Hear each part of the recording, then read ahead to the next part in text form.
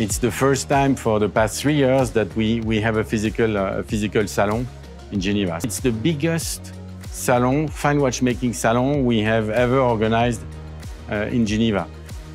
Watches and Wonders is, uh, is designed uh, as a fashion week where the world industry can meet, see the novelties, sniff out the new trends, and meet the movers and shakers of today's watchmaking world.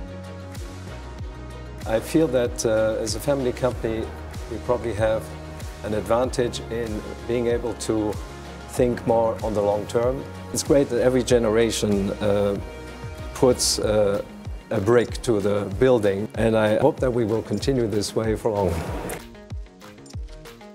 IWC has always been a, functional watchmaker. We had an engineering approach to watchmaking, and what we're launching here this year is a perfect monochromatic execution in olive green that really becomes like very distinct look on the wrist. We are very optimistic for 2022. On the outdoor segments, we are releasing uh, something new and groundbreaking. It's uh, Solargraph technology. So if I can say the overarching messages for us, it's uh, durability, it's quality, and it's also innovation.